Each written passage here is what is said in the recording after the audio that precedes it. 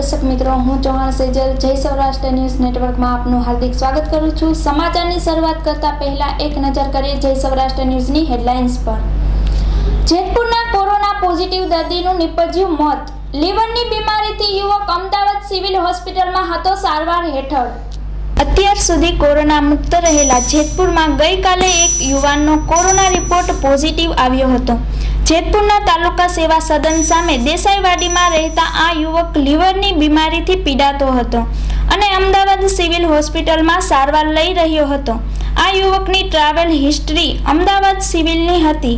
ગઈકાલે આ યુવકનો report corona positive આવ્યો હતો, પણ સારવારના અંતે આ યુવકનું મોત નીપજ્યું હતું.